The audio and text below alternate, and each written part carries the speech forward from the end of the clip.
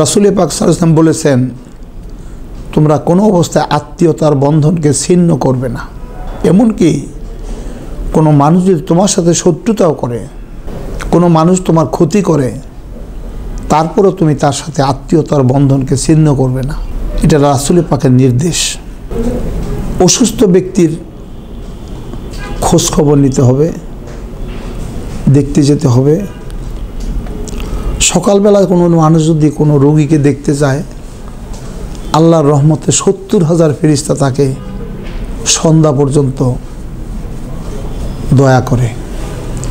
আর সন্ধ্যার সময় যদি কোনো মানুষ কোনো রুগী দেখতে যায়, সত্তর হাজার ফেরিস্তা সারা রাত্র তার জন্য শুভ কামনা করে। আর অসুস্থ মানুষ দেখা, এটা আমাদের রাসুল পাকের উম্মদের প্রতি বিশেষ নির্দেশ আছে রাসুল পাকের তরফ থেকে। মৃত ব্যক্তির জানা যায় শরিক হওয়া। যারা কবরে চলে গেছেন, তাদের কবর জেয়ারত করে তাদের জন্য দোয়া করা। প্রতিবেশীর আনন্দে যোগদান করা। শোকে, দুঃখে তাদের প্রতি সহানুভূতি প্রকাশ করা। প্রতিবেশীকে কোনোভাবে কষ্ট দেওয়া যাবে না।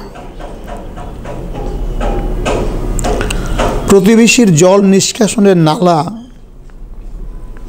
বন্ধ করা যাবে না।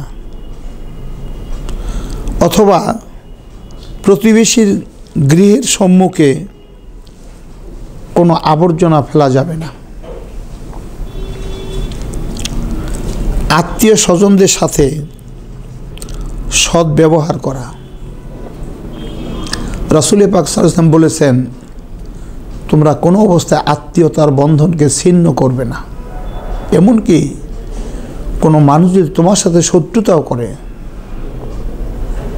কোনো মানুষ তোমার ক্ষতি করে তারপরেও তুমি তার সাথে আত্মীয়তার বন্ধনকে ছিন্ন করবে না।